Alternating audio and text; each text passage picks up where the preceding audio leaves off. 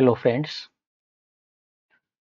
आज आपण ह्युमन रिप्रोडक्शनमधला एक अतिशय सिंपल टॉपिक या लेक्चरमध्ये अभ्यासणार आहोत. तो म्हणजे मेल रिप्रोडक्टिव्ह सिस्टीम आपल्याला नीट एक्झाममध्ये सुद्धा क्वचितच एखादा प्रश्न याच्यावरती विचारला जातो.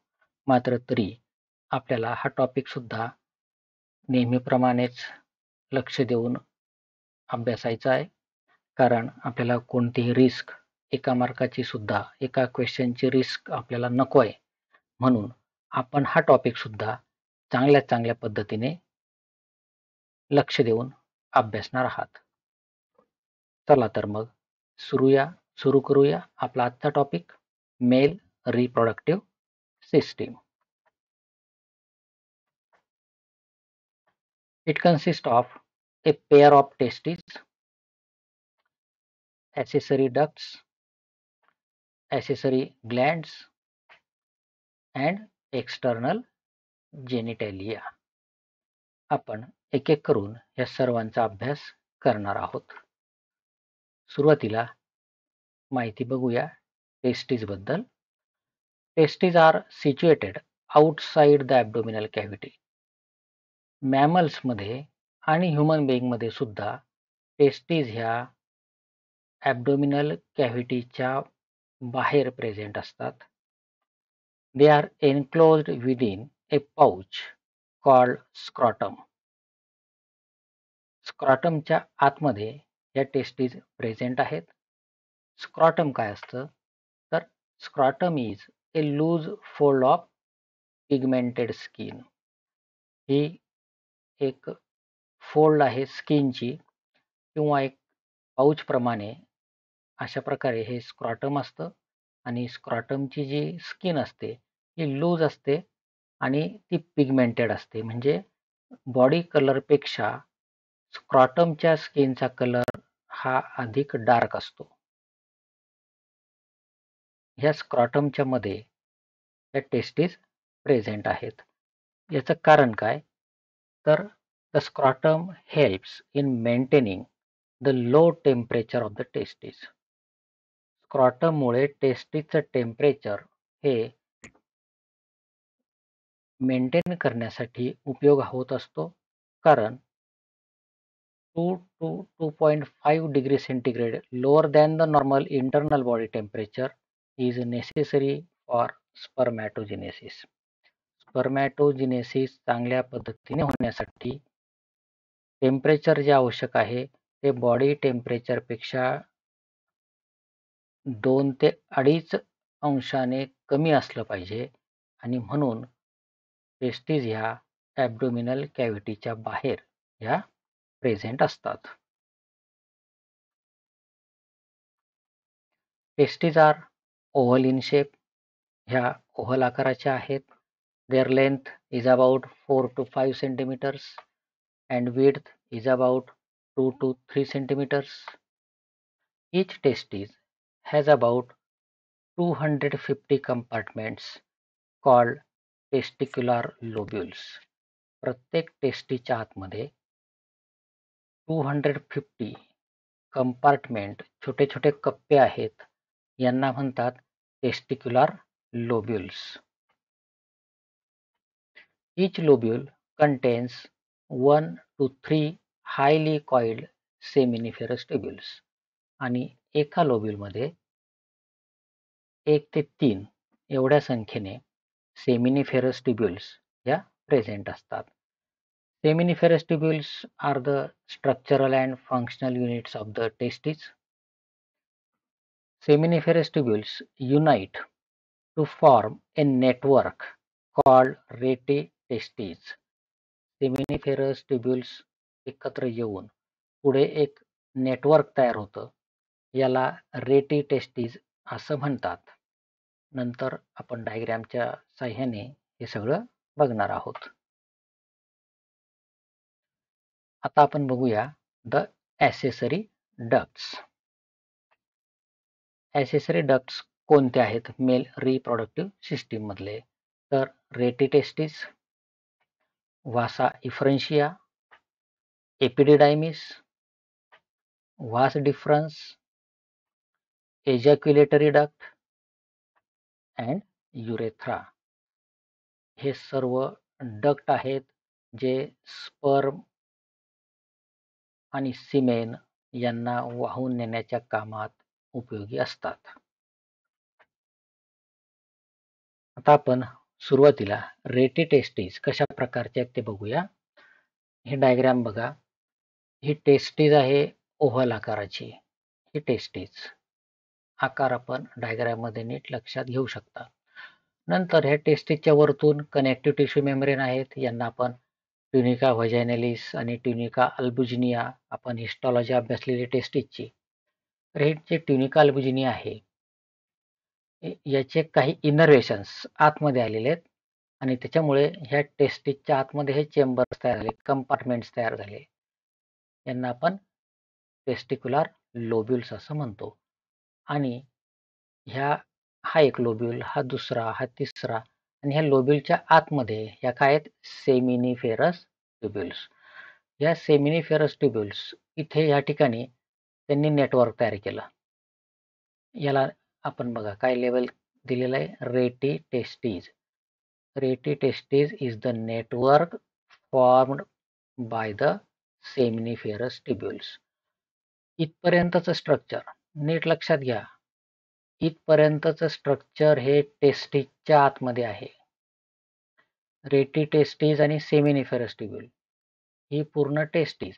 आणि नंतर ह्या रेटी टेस्टीजपासून पुढे तयार होणार आहेत वासा इफ्रन्शिया किंवा इफ्रंट डक्ट्युल्स हे मात्र टेस्टीजच्या बाहेर आहेत.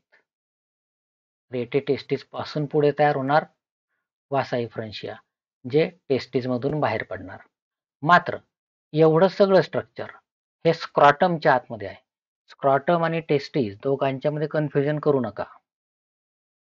टेस्टीजच्या मध्ये सेमिनिफेरस ट्युब्युल्स आणि रेटी टेस्टीज आणि मग रेटी टेस्टीजपासून तयार झाले वास इफ्रन्स आणि नंतर मग एपिडिडायमिस एपिडायमिसपासून पुढे तयार झालं.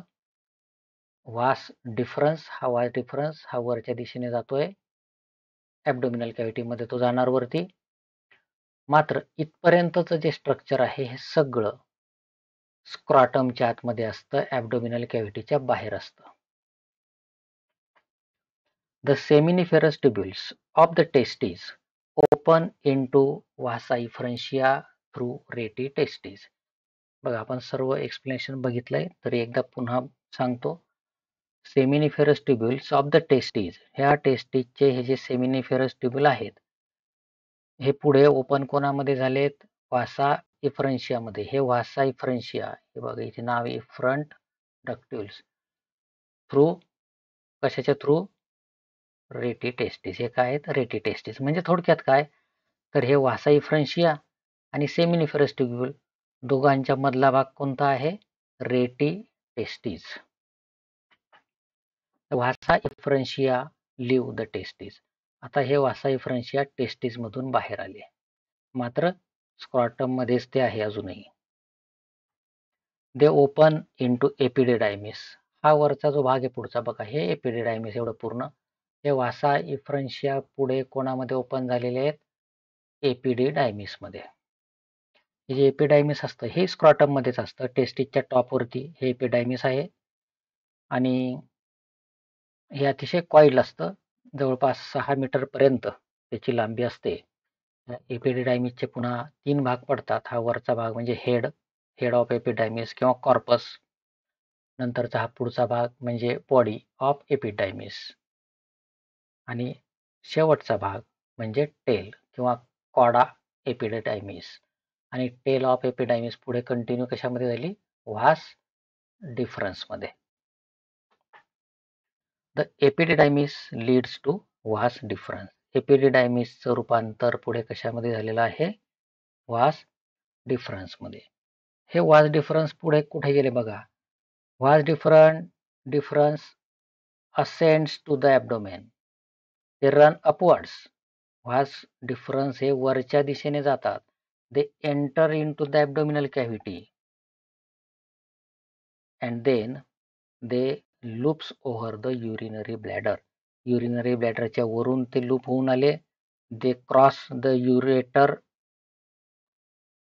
of each side आपापल्या बाजूच्या युरेटरला ते क्रॉस करतात. आणि नंतर मग ते सेमिनल डक्टशी जॉईन होतात. It receives a duct from seminal vesicle and opens into urethra as the ejaculatory duct. म्हणजे सेमिनल डक्ट आणि व्हाज डिफरन्स दोन्ही एकत्र आले आणि काय तयार झाला? एजॅक्युलेटरी डक्ट हा एजॅक्युलेटरी डक्ट नंतर ओपन होतो युरेथ्रामध्ये These ducts store and transport the sperms from the testes to the outside through urethra. The urethra originates from the urinary bladder हे आपण एक्सक्रेटरी किंवा युरिनरी सिस्टीम मध्ये अभ्यासलेला आहे युरेथ्रा हा युरिनरी ब्लॅडर पासून अराईज झाला it passes through the penis to its external opening called urethral मिटस जे opening असतं युरेथ्राचं याला युरेथ्रल मिटस असं म्हणतात. जे पेनिसच्या टीपवरती ओपन होणार आहे. आता आपण डायग्रॅमच्या साह्याने ह्या सगळ्या डक्ट्स बद्दलच एकदा रिव्हाइज करूया. बघा ही टेस्टिस ओव्हल आकाराची. टेस्टिसच्या वरती हे आहे एपिडेडायमिस. दोन्ही टेस्टिसच्या वरती एपिडायमिस. नंतर एपिडायमिसचं पुढे कंटिन्युएशन झालं. हे कशामध्ये? वास डिफरन्स किंवा डक्टस डिफरन्स हा वास डिफरन्स इट रन्स अपवर्ड्स वरच्या दिशेने तो जातोय. It loops the urinary bladder and it crosses the ureter हे दोघं युरेटर आहेत. हे वरतून आलेले आहेत किडनीकडून. हा युरेटर ह्या युरेटरला ह्या वास डिफरन्सने क्रॉस केलं. आणि पुढे हे आहेत सेमिनल व्हेसिकल्स या सेमिनल व्हेसिकलच्या डक्टशी ते जॉईन होतात आणि तयार होतो एजॅक्युलेटरी डक्ट एजॅक्युलेटरी डक्ट बघण्यासाठी आपण या दुसऱ्या डायग्रॅमची मदत घेऊ. बघा हा वाज डिफरन्स आला. ही सेमिनल व्हेसिकल आहे जे पिंक कलरने आपण या ठिकाणी दाखवलं. त्याच्यापासनं हा जो छोटासा डक्ट इथे तयार झालेला आहे आपल्या पॉइंटरच्या जवळ हा सेमिनल डक्ट सेमिनल डक्ट आणि हा येणारा वाज डिफरन्स दोन्ही एकत्र आले. आणि हा तयार झाला एजॅक्युलेटरी डक्ट हा शॉर्ट असतो अतिशय दोन सेंटीमीटरच्या जवळपास. त्याची लांबी असते. हा आहे एजॅक्युलेटरी डक्ट पेअरमध्ये आहेत. इकडे एक इकडे आणि दोन्ही एजॅक्युलेटरी डक्ट कुठे ओपन झाले? बघा हे युरिनरी ब्लॅडर त्याच्यापासून ही जी ट्यूब निघालेली आहे इट इज द युरेथ्रा या युरेथ्रामध्ये हा एजॅक्युलेटरी डक्ट ओपन होतो. तर मग ह्या डक्ट्स कशा पद्धतीने रन होत आहेत आपल्या बॉडीमध्ये हे आपण ह्या ठिकाणी नीट समजून घेतलं. अगदी सिंपल आहे. टेस्टीस त्याच्यापासून एपिडायमिस तयार झालं. एपिडायमिसचं कंटिन्युएशन झालं. वाज डिफरन्समध्ये वाज डिफरन्स वरच्या दिशेने आला. ॲबडोमिनल कॅव्हिटीमध्ये गेला. युरिनरी ब्लॅडरपर्यंत आला. तिथे त्याने ह्या युरेटरला क्रॉस केलं आणि पुढे कोणाशी जॉईन झाला? हे पिंक कलरचं सेमिनल वेसिकल आणि त्याचा हा छोटासा डक्ट म्हणजे सेमिनल डक्ट.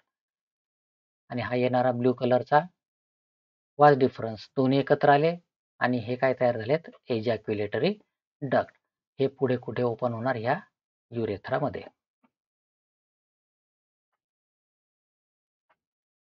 नंतर आपण माहिती घेणार आहोत ॲसेसरी ग्लँड्सबद्दल ॲसेसरी ग्लँड्स मेल रिप्रॉडक्टिव्ह सिस्टीमशी संबंधित तीन आहेत. सेमिनल व्हेसिकल्स प्रोस्टेट ग्लँड आणि bulbourethral or Cowper's glands तिन्ही ग्लँड्स अतिशय महत्त्वाचं काम मेल रिप्रोडक्शनच्या संदर्भात करणार आहेत.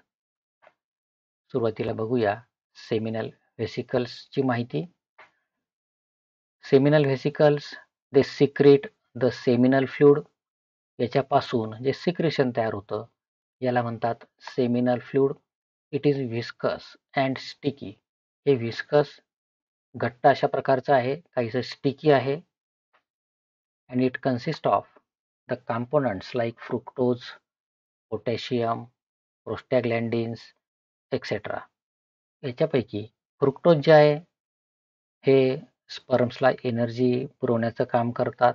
कारण हे जे सिक्रिशन आहेत ह्या ग्लँड्सपासून तयार होणारे ह्या सिक्रिशनमध्येच स्पर्म चांगल्या प्रकारे अधिक काळपर्यंत ॲक्टिव्ह राहू शकतात आणि त्याच्यासाठी त्यांना एनर्जी ही पाहिजे ती पुरवण्याचं काम हे फ्रुक्टोज करतं.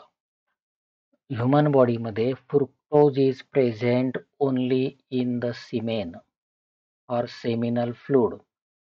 इतरत्र कुठेही फ्रुक्टोज ह्युमन बॉडीमध्ये किंवा ॲनिमल बॉडीमध्ये आढळत नाही. फ्रुक्टोज हे आढळतं it is the monosaccharide which can be detected from the fruits फ्रुट्समध्ये जे मोनोसॅकराइड्स आहेत त्यांना आपण फ्रुक्टोज असं म्हणतो. हे फक्त प्लांट्समध्ये फ्रुक्टोज आपल्याला आढळतं. ॲनिमल्समध्ये नाही.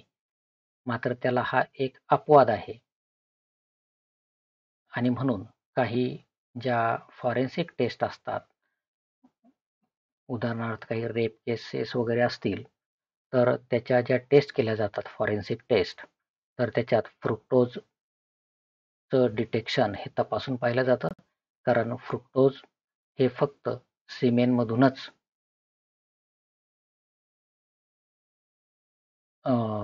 रिलीज केलं जाणार आहे.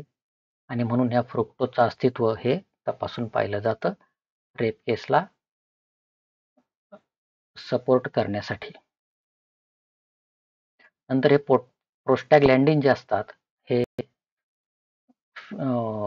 जे युटेरस असतं व्हजायना युटेरस ज्या ठिकाणी स्पर्मची एजॅक्युलेशन झालं. तर हे प्रोस्टॅग्लँडिन्स आपण फर्टिलायझेशन टॉपिकमध्ये अभ्यासलेलं आहे. लेक्चर बघितलं नसेल फर्टिलायझेशनचं तर आपण ते आवर्जून बघा. अतिशय उपयोगी असं ते लेक्चर आपलं आहे. प्रोस्टॅग्लँडिन्स हे फिमेल रिप्रोडक्टिव्ह ट्रॅकला कॉन्ट्रॅक्ट करण्याचं काम करतात जेणेकरून स्पर्म हे पुढच्या दिशेने ढकलले जातील. आणि स्वतः सिमेनने आपल्यासोबत प्रोस्टॅग्लँडिन सुद्धा आणलेलं आहे. कारण स्पर्मला पुढच्या दिशेने मूव्ह व्हायचं आहे. जरी त्याची एंट्री वजायनामध्ये झालेली असली तरी त्याला प्रवास करून पोहोचायचं आहे. फॅलोपियन ट्यूब किंवा पर्यंत ज्या ठिकाणी फर्टिलायझेशन हे होणार आहे. This seminal fluid it constitutes about sixty to seventy percent of semen's total volume जे सिमेन आहे म्हणजे मेल रिप्रोटेक्टिव्ह सिस्टीमपासून जे सिक्रेशन तयार होतं सिमेन याचा साठ ते सत्तर टक्के भाग हा ह्या सेमिनल फ्लूडने बनलेला असतो. Second type of accessory glands are the prostate gland it is single seminal vesicles हे पेअर्ड होते. प्रोस्टेट ग्लँड मात्र सिंगल आहे. It is present at the base of urethra ज्या ठिकाणी युरेथ्राची सुरुवात होते. बघा हे युरिनरी ब्लॅडर आहे.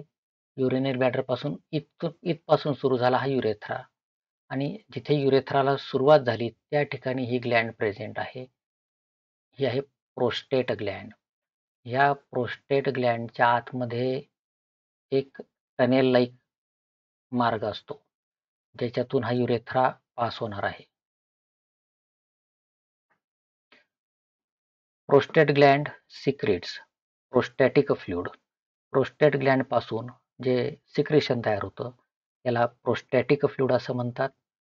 या प्रोस्टेट ग्लँडमधून अनेक डक्ट हे ह्या युरेथ्रामध्ये ओपन होतात आणि प्रोस्टॅटिक फ्लूड ते त्या ठिकाणी रिलीज करतात.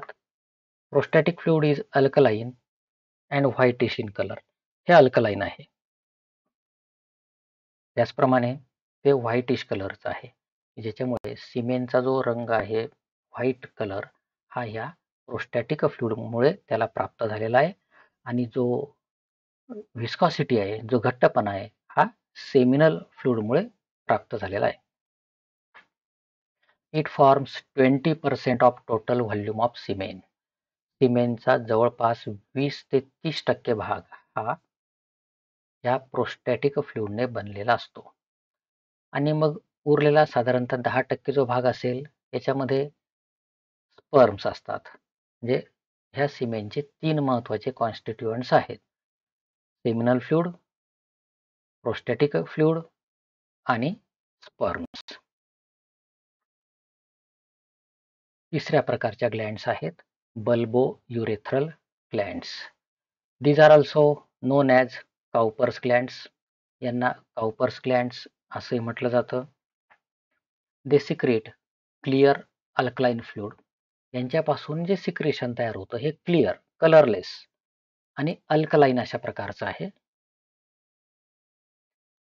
या बल्बो युरेथ्रल ग्लँड्स नेमक्या कोणत्या ठिकाणी आहेत? They are present at the base of penis बघा इत इथपासून पेनिसला सुरुवात झाली. ह्या पेनिसच्या बेसला दोन लहान आकाराच्या पी शेप ह्या ग्लँड्स आहेत. यांना म्हणतात बल्बो युरेथ्रल ग्लँड्स किंवा काउपर्स ग्लँड्स लोकेशन लक्षात घ्यायचं. At the base of penis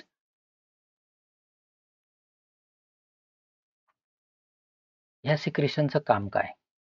It neutralises the passage of urethra ह्यांचं जे सिक्रेशन असतं बल्बो युरेथ्रल ग्लँडचं हे शक्यतोवर सिमेन तर एजॅक्युलेशन होण्याच्या आधी ह्या ग्लँडचं सिक्रेशन तयार होतं. त्याच्यामुळे जो पॅसेज असतो युरेथ्राचा हा न्यूट्रलाइज केला जातो. कारण लक्षात घ्या आपल्याला माहिती आहे बल्बो युरेथ्रल ग्लँडचं जे सिक्रेशन आहे हे अल्कलाईन आहे. आणि युरेथ्राचा जो पॅसेज असतो हा ॲसिडिक असतो. कारण युरेथ्राच्या मार्गाने अधिकाधिक वेळेस काय पास झालेला असणार आहे युरिन आणि युरिन जे असतं हे युरिन स्लाइटली ॲसिडिक नेचरचं आहे. आपण एक्सक्रिशन चॅप्टरमध्ये अभ्यासलेलं आहे. युरिनच्या properties urine is slightly acidic in nature due to due to the presence of H plus ions मग हे युरिन या युरेथ्रामधून पास होत असल्यामुळे युरेथ्राचा जो पॅसेज असतो हा ॲसिडिक बनलेला असतो. त्याला न्यूट्रलाइज करण्याचं काम हे सिक्रेशन करेल. त्याचप्रमाणे it lubricates the passage of urethra युरेथ्राचा जो पॅसेज आहे याला लुब्रिकेट करण्याचं काम सुद्धा हे सिक्रेशन करतं. हा पॅसेज लुब्रिकेट झाला की त्याच्यानंतर मग सिमेन ह्या मार्गाने पास होईल. त्याच्यामुळे ते अगदी इझिली स्मूथली त्या पॅसेजमधून पास होऊ शकेल. तर असे दोन महत्त्वाचे कामं या काउपर्स ग्लँड्स किंवा बल्बो युरेथ्रल ग्लँड्स ह्या करत असतात. आता आपण अभ्यासूया external genital organ of males that is penis. Penis is the male copulatory organ. हा मेल कॉप्युलेटरी ऑर्गन आहे. पेनिसचं काम it just transfers the male gametes or semen into the female reproductive tract. बाकी रिप्रोडक्शनच्या संदर्भात दुसरं कोणतंही महत्वाचं काम पेनिसचा असत नाही. It contains three columns of erectile tissue पेनिसच्या आतमध्ये इरेक्टाईल टिश्यूचे तीन कॉलम्स असतात जे लॉन्जिट्युडनल एकमेकांना पॅरल अशा प्रकारचे असतात. याला आपण इरेक्टाईल टिश्यू म्हणण्याचं कारण ह्या इरेक्टाईल टिश्यूच्या मध्ये काही स्पेसेस असतात. यांना ब्लड सायनसेस असं म्हटलं जातं.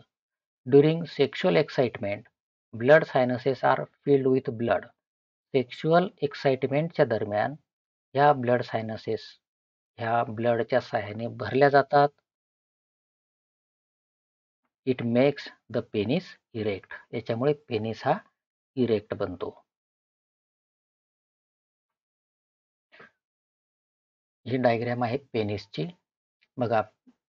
ह्या पेनिसमध्ये हे पॅरलल लॉन्जिट्युडनल पेनिसच्या लांबीला पॅरलल असे हे मासेस आहेत. यांना म्हणतात कॉर्पोरा कॅव्हर्नोसा हे दोन आणि तिसरं जे असतं हे असतं कॉर्पस स्पॉन्जिओसम असे तीन इरेक्टाईल टिश्यूचे मासेस आहेत.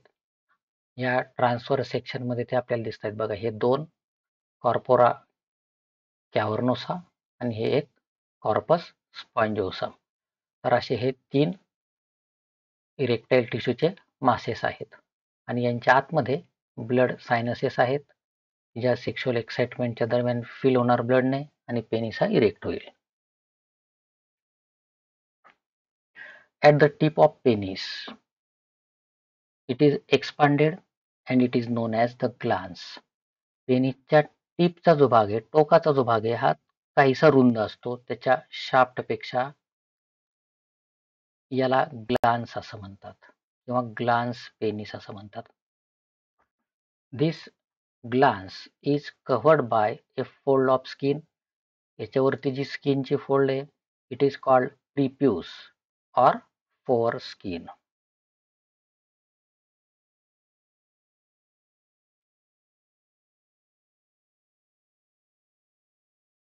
आपण डायग्रॅम पुन्हा एकदा नीट ऑब्झर्व करून घ्या की कशा प्रकारे हे मासेस आहेत. इरेक्टाईल टिश्यूचे ट्रान्सफर सेक्शनमध्ये आपण ते ह्या दुसऱ्या डायग्रॅममध्ये दाखवलेले आहेत. बघा मित्रांनो या लेक्चरमध्ये आपण या ठिकाणी थांबूया. आपण मेल रिप्रॉडक्टिव्ह सिस्टीमबद्दल सविस्तर अशी माहिती ह्या लेक्चरमध्ये घेतलीत. नेक्स्ट लेक्चरमध्ये आपण अभ्यासणार आहोत फिमेल रिप्रॉडक्टिव्ह सिस्टीम तर मग भेटूया पुढच्या लेक्चरमध्ये एका नवीन टॉपिकसह लेक्चरला लाईक करा कमेंट करा. Thank you and goodbye